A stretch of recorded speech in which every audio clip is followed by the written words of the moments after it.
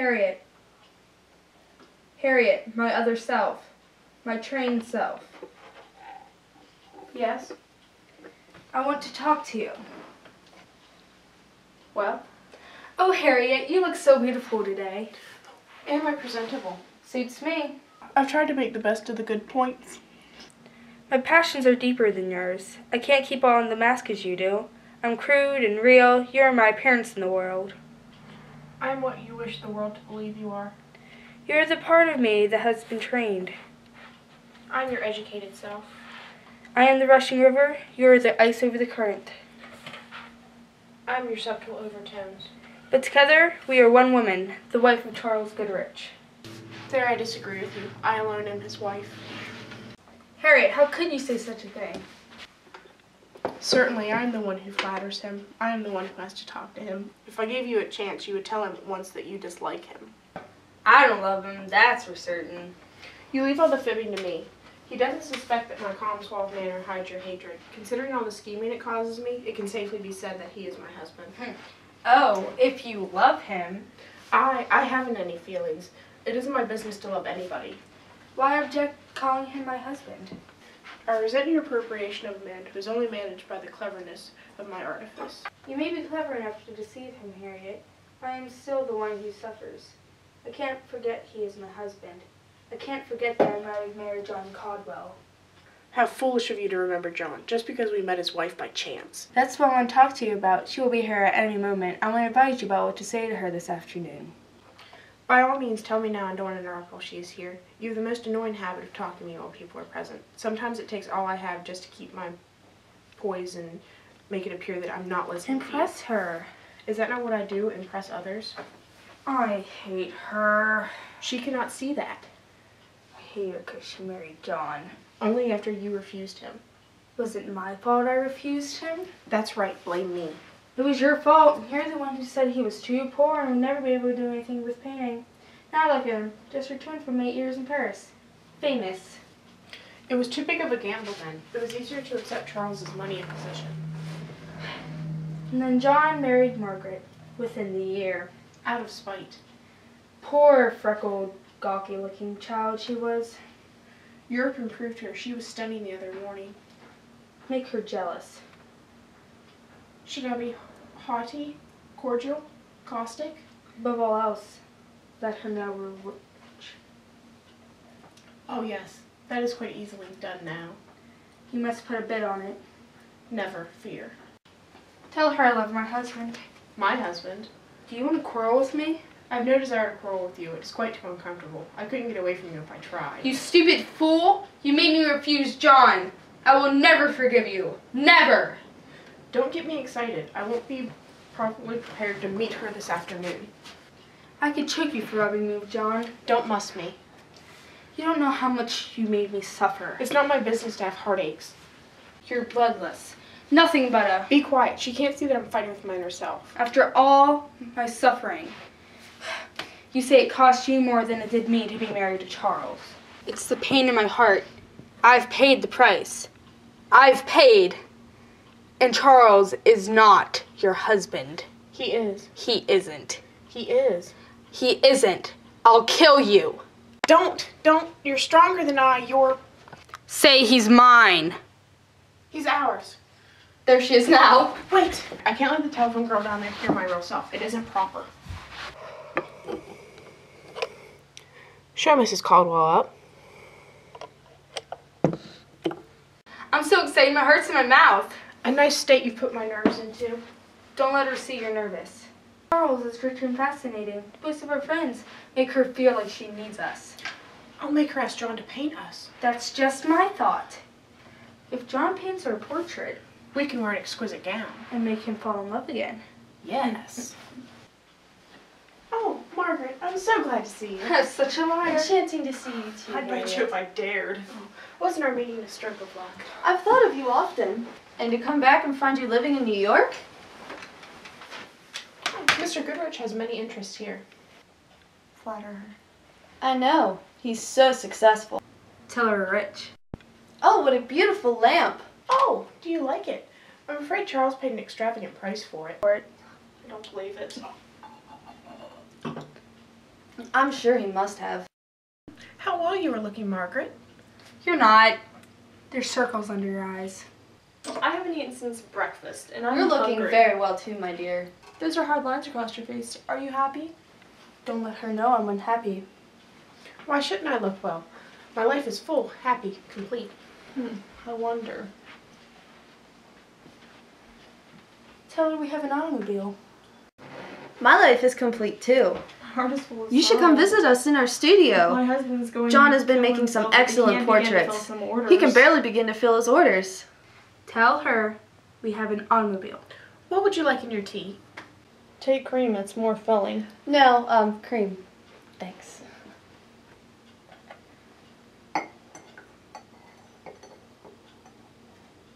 Cake.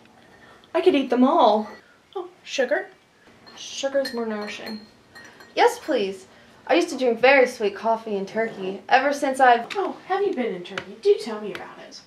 Quick, change the subject. You must go. You have such good taste in dress. You would enjoy seeing their costumes. Is she gonna pass the cake? John painted many portraits there. Stop her bragging and tell her we have an automobile. Cake? At last. Thank you. Automobile. Follow up with the costumes about how she'd make a good model for John. Mmm, what delicious cake. There's a chance for the auto. Oh, yes, it is good cake, isn't it? There's always a great many people at Harper's buying it. I sat for 15 minutes in my automobile waiting for my chauffeur to get it. Make her order a portrait. If you stopped at Henderson's, you must have noticed the new gowns at Harper's. Aren't the shop windows alluring these days? Oh, even my chauffeur notices them. I know you have an automobile. I heard you the first time. I notice gowns now with an artist's eye like John does. The one you have on, my dear, is very paintable. Don't let her see you're anxious to be painted. Oh, it's just a little model. Don't seem so anxious to get the order. Perhaps it's not the dress, but the way you wear it that's pleasing to the eye.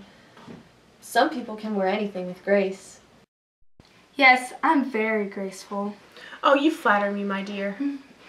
On the contrary, Harriet, I have an intense admiration for you. I remember how beautiful you were as a young girl. I can remember getting jealous when John would pay so much attention to you. She's gloating because I lost him. Oh, those were childhood days in a country town. She's only trying to make you think that John was only a country boy. Most great men are from the country. There's a fair chance John will be added to the list. I know it, and I'm bitterly jealous of you. Undoubtedly, he owes much of his success to you, Margaret. Your experience in economy and your ability to endure hardship. Those first few years in Paris must have been a struggle. She's sneering at our poverty. Yes, we did find life difficult at first. Wasn't a luxurious life a girl has when she marries wealth. Did not you marry Charles for his money? John and I are congenial in our tastes. We were impervious to hardships or any unhappiness. Do you really love him? Is it Did really ever read the true? romance of starving for his art? She's taunting you. Get even with her. Not for long, Prince Rear soon discovered John's genius. He introduced him to many wealthy Persians who made many orders. Are you telling the truth? Or are you lying? If you had so many opportunities there, you must have had great inducements to come back to the States. We did, just not the kind you think. John has become all the rage among Americans traveling in France. They simply insisted on him coming here. Oh, whom has he painted here? What names do I dare make up? As of recent, Miss Dorothy Ainsworth of Oregon. You may not recognize the name. She's a daughter of a coal miner who's wealthy and found gold in Alaska. I dare say there are many Western people we've never heard of. You must have found social life in New York very interesting, Harriet, after the simplicity of our hometown. There's no need to remind us that we both had the same beginning. Of course, Charles's family made everything delightful for me. They have so many connections. Flatter her. I heard you mention yesterday. You're so popular. They said you were very clever. Oh, who told you that? Nobody? Oh, confidences should be respected. They said too that you are gaining some sort of reputation as a critic of art. I make no pretenses. Are you and Mr. Goodrich interested in the same things too? No. Yes, indeed. Charles and I are inseparable. I wonder. More cake? No. please. Really, I shouldn't. Uh, after my big luncheon, John took me to the Ritz, and we were invited to the Bedfords for dinner. They have such a magnificent house near the drive. I really shouldn't, but they are delicious. I've been happy since I gave up on John. All these years without him, a future without him, no. No. I shall win him back. Away from you. Away from you. I sometimes think it's unfair for anyone to be as happy as I am. Charles and I are as much in love as now as when we were when we married. He's just the dearest man in the world to me. No, like John is. I love him so much I'd die for him. I'm going through suffering and hunger just so we can make him great. I love him so much and he worships me. I should like to meet Mr. Goodrich. Bring him to our studio. John has some sketches to show. Not many. All of his portraits have been bought by the subjects. He's making about $4,000 now. Don't pay that much. As much as that. It is not really too much when one considers that John is in the foremost rank of an artist today. A picture he painted could double or triple in value. It's all a lie. He's growing weak with despair. Does he paint all day long? No, he draws advertisements for our bread. When you and your husband come to see us, telephone first. Yeah, that way we can get the advertisements out of the way. Otherwise, you might arrive while he has a sitter, and John refuses to let me disturb him then. Make her ask for an offer. Lagrange offered to pay me for a thousand. Louis Lagrange's reputation isn't worth that. I've heard his work is well mentioned. Yes, he's doing splendid. Oh dear me, no. He is praised by the masses, but artists don't even consider him these days. Must I really pay the full price? Lagrange thought I would make a good subject. Let her fish for it. Of course you would. Why don't you let Louis Lagrange paint you, if you trust him? She doesn't seem anxious to have John do it. But if Lagrange isn't accepted by artists, it would be a waste of time to pose for him, wouldn't it? Yes, I think it would. Give us the order. John is so despondent that he can't endure much longer. Help us. Help me. Save us. Don't seem too eager. Well, if Lagrange only charges a thousand, one might consider it. If you really wish to be painted, why don't you give a little more and have a portrait really worthwhile? John might do you for a little under his normal price, considering you two used to be such good friends. Hurrah! That's very nice of you to suggest. Of course, I don't know. For God's sake, just say yes. Of course, I don't know whether John would. Me try to make us feel small. He is very peculiar in these matters. He sets his value on his work and thinks it's beneath him to discuss price. Still, I might quite delicately mention to him, you know, that as you have many influential friends, Finish what I don't want to say. Help her out. Oh, yes, introductions will follow the exhibition of my portrait. No doubt I. Be patronizing. No doubt I shall be able to introduce your husband to his advantage. Saved! if I find John in a propitious mood, I shall take pleasure, for your sake, in telling him about your beauty, just as you are sitting now would be a lovely pose. Don't let her think she's doing us a favor. It will give me pleasure to add my name to your husband's list of patronesses. Hurry, run home and tell John the good news. I little guessed when I came for a pleasant chat about our old times that it would develop into business arrangements. I had no idea, Harriet, that you had any intention of being painted by Lagrange. Well, I just came just in time to rescue you. Hurry, hurry, run home and tell John. You handled the order very neatly. She doesn't suspect that we wanted it. Now, if I'm not satisfied with my portrait, I shall blame you, Margaret dear. I'm relying upon your opinion of John's talent. She doesn't suspect what you came for. Hurry, run home and tell John. You've always had a brilliant mind, Margaret. Ah, it is you who flatter now. You don't have to stay so long. Hurry home. One does not flatter when one tells the truth. I must be going, or else you'll have me completely under your spell. Yes, do go. I have to get just for dinner. Please don't hurry. No, really, I must. But I hope we can see each other often at the studio. I find you so stimulating. I hate you! It is indeed gratifying to find a kindred spirit. I came for your gold. How delightful it is to know you again. I am going to make you and your husband suffer.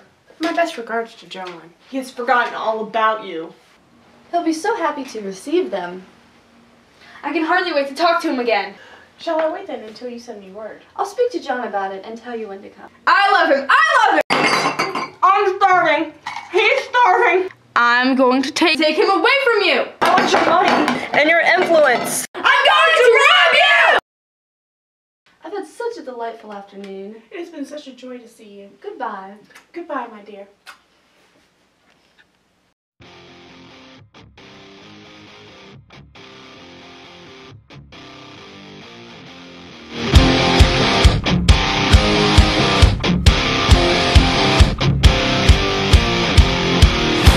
Secret side of me, I never let you see. I keep it caged, but I can't control it. So stay away from me, the beast is ugly. I feel the rage and I just can't hold it. It's scratching on the walls, in the closet, in the halls. It comes awake and I can't control it.